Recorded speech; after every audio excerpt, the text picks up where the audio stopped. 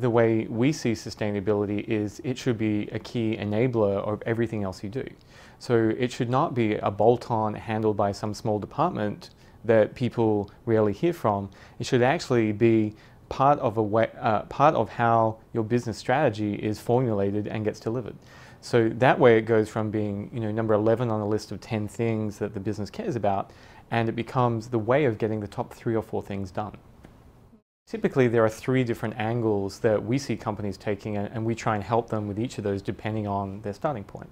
So the first one is thinking about uh, compliance and risk and when we look at sustainability uh, and think about environmental and social risk, we see these risks becoming much more prevalent and company and because of issues such as climate change, much more real for companies in terms of a driver of cost. So we think about how do we make our supply chains more resilient and how might we make sure that we're in compliance with uh, new and different regulations that are popping up around the world. So that's sort of the risk and, and compliance focus. So that's, that's the first one. The second one, we talk about eco-efficiency. So how can I run my business in a way that uses, produces less carbon, uh, uses less water, uh, has less impact on the land, and tries to optimize the social questions at the same time.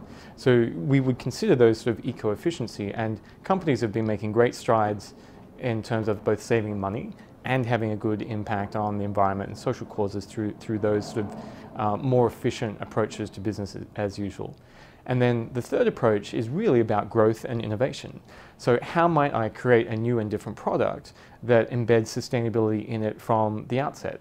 So this is where you need creativity, you need engineers, you need people who can figure out um, you know, questions that go all the way along the value chain and reconceive business models, products, ideas, brands that can actually lead to new growth opportunities for that business. When it comes to eco-efficiency, we've got teams deployed at a number of uh, clients right now, finding millions of dollars in savings in multiple places across the organization.